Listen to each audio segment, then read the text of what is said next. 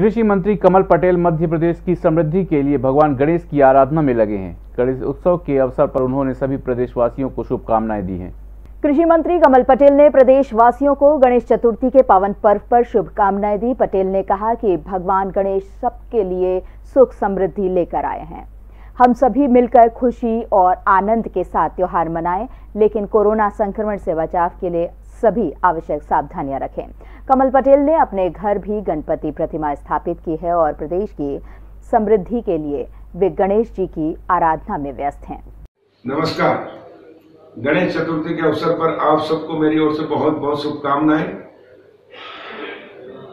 हमारा प्रदेश की सुख समृद्धि, खुशहाली के लिए, देश की समृद्धि, खुशहाली के लिए मैं ईश्वर से प्रार्थना करता हूँ कि भगवान गणेश जी का आशीर्वाद हम सब पर रहे आप सब पर रहे आप सब स्वस्थ रहे, खुशहाल हो, समृद्धशाली हो।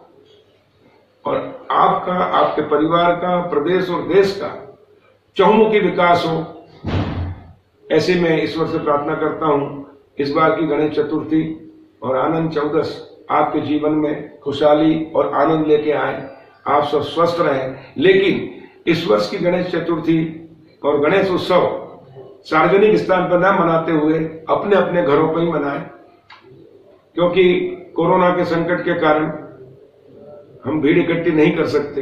इसलिए गणेश जी को अपने घर में, अपनी दुकान में विराजित करें, पूजा अर्चना करें और उनका आशीर्वाद लें। एक बार पुनः आप सबकी खुशहाली के लिए, समृद्धि के लिए, स्वस्थ जीवन के लिए, खुशहाल जीवन के लिए मैं भगवान गणेश जी से प्रार्थना करता हूँ कि उनकी कृपा हम सब पे बरसेगी आप सब पे बरसेगी और आप सब स्वस्थ और खुशहाल रहेंगे और हम अपने गाँव को अपने प्रदेश को अपने देश को समृद्धशाली खुशहाल बनाने में सफल हो ऐसी शुभकामनाएँ आप सबके लिए। Rabindranath Tagore University, formerly known as ISECT University, the pioneers in skill development with focus on creating industry-ready professionals.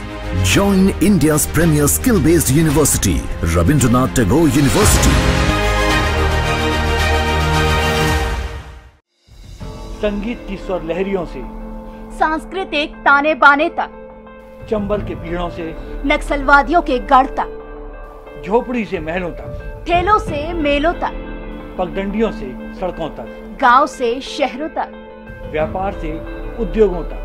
राजनीति से कूटनीति तक। दखल न्यूज़। आपके हक। में।